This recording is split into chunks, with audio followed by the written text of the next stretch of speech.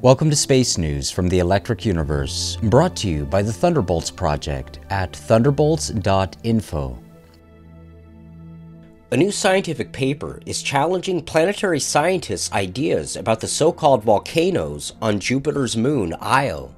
Since the late 1970s, scientists on Earth have studied the tremendous plumes of material ejected hundreds of kilometers from the moon's surface. The theory that these plumes are volcanic in nature envisions Jupiter's gravitational pull creating tidal heating inside of Io. However, according to a recent geologic survey, the location of the so called volcanic plumes is incompatible with the predictions of the tidal heating models. Lead author Christopher Hamilton says that the findings can't be reconciled with any existing solid body tidal heating models. But the mysteries surrounding Io's so called volcanoes trace back to their discovery in 1979. On March the 8th, 1979, three days after passing Jupiter, Voyager 1 took images of Jupiter's moons to help the mission controllers determine the spacecraft's exact location.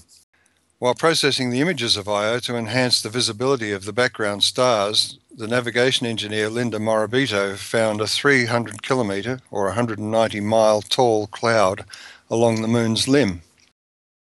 At first, she suspected the cloud to be a moon behind Io, but there was no suitably sized body in that location. The feature was determined instead to be a plume generated by active volcanism. Now, this is the standard report you'll read about the discovery of the so called volcanoes on Io.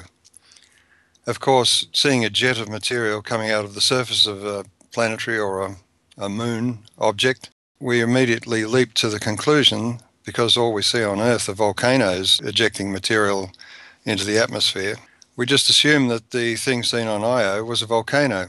And the only way for a volcano to be active on Io was some source of heat in fact, a few months before Voyager 1 went past Jupiter, it had been predicted that there might be volcanic activity. The difficulty with all of this is that the plumes on Io, 190 miles tall, had a beautiful even umbrella shape, and also the plume was filamentary. It was discovered later in closer images from the orbiting spacecraft Galileo that the plumes had this beautiful symmetrical shape which dropped the material that was being shot towards space back to the surface in a, a beautifully shaped ring.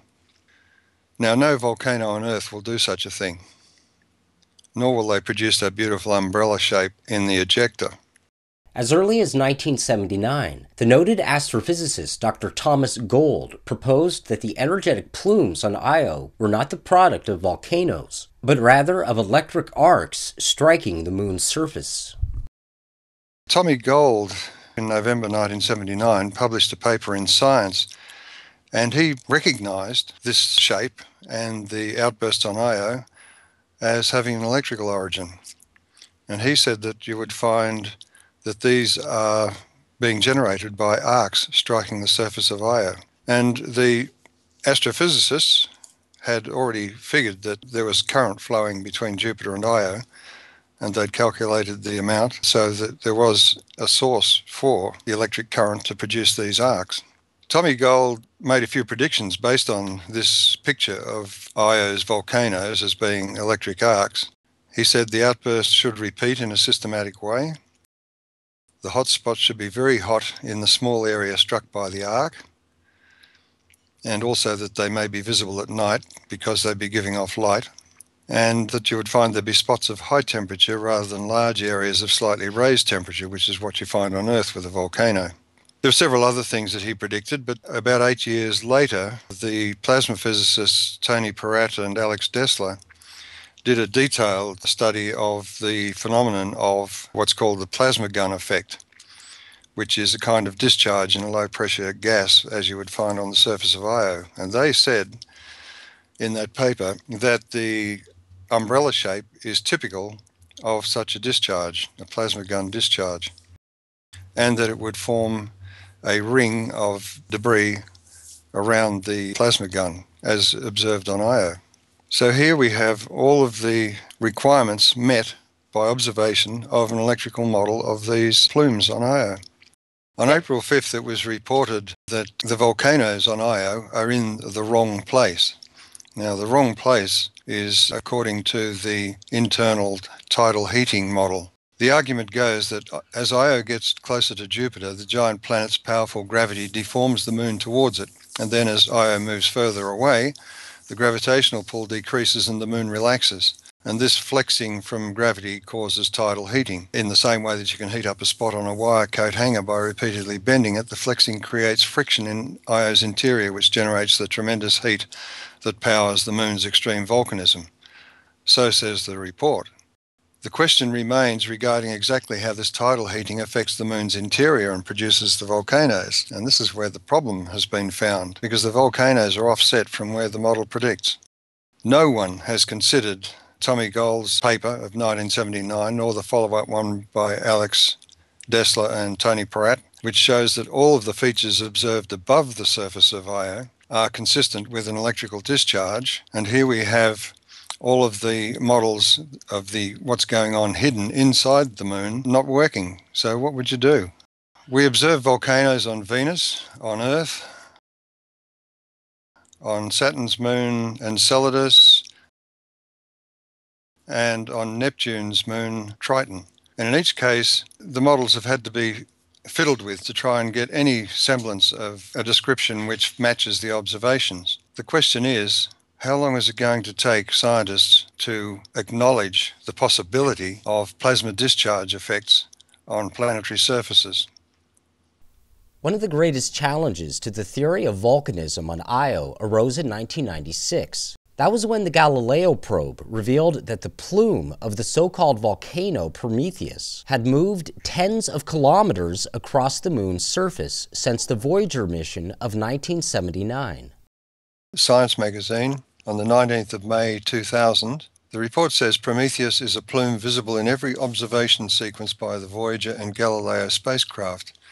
It has also been a persistent high temperature hotspot during Galileo's tour of Jupiter. Although the plume has been stable in size, shape, and optical properties, its source moved about 75 to 95 kilometres to the west between the times of the Voyager flybys in 1979 and Galileo's first images in 1996. The question immediately arises how do you explain a volcano which moves almost 100 kilometres in just a few decades? The answer is that's not what we see volcanoes doing.